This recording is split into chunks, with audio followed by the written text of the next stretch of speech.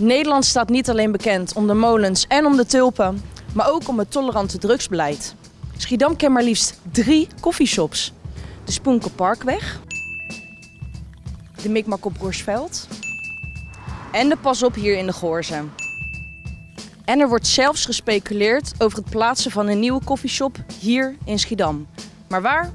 Dat is nog de vraag. Er wordt dus gespeculeerd dat er hier in Ketelspaland misschien wel een koffieshop wordt geopend. Wat vindt u daarvan? Niet goed. U vindt dat niet goed? Nee. En hoe komt dat zo? Nou, vanwege alle omstandigheden er rond.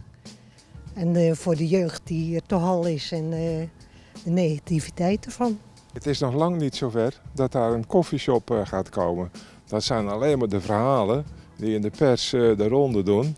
Ik eh, moet het eerst maar eens zien of dat inderdaad eh, gaat gebeuren. Ik Ja. denk niet dat het zo'n vaart eh, loopt.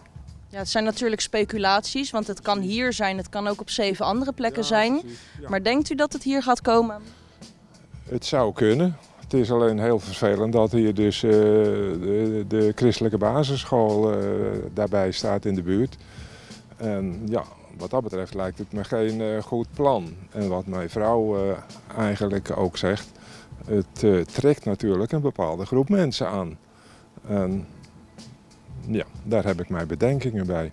Er wordt gespeculeerd dat hier op het Rubensplein mogelijk een, eh, een koffieshop wordt geopend. Wat vindt u daarvan?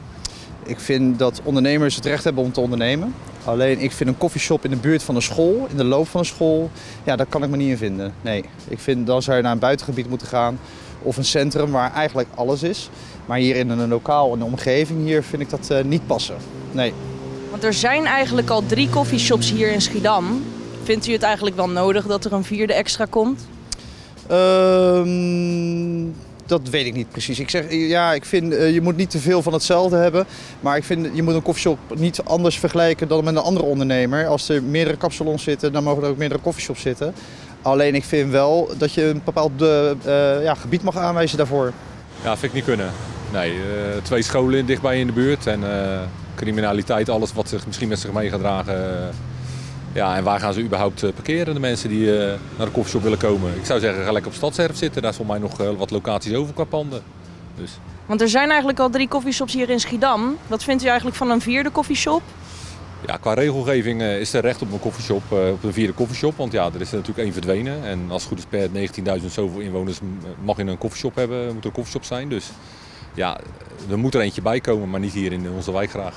Bij de extra criminaliteit die erbij dan komt kijken. En er zit er een apotheek eh, op de hoek, eh, een sigarenwinkel of een, een sigaretten. Dus ja, het is, nee. Het is niet de bedoeling dat hier een koffieshop komt.